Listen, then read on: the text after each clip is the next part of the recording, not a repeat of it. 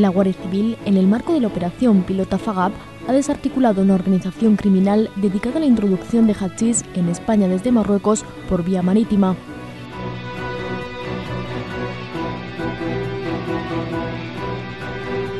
La droga era transportada dentro de una jaula subacuática, adosada y atornillada a la embarcación de recreo.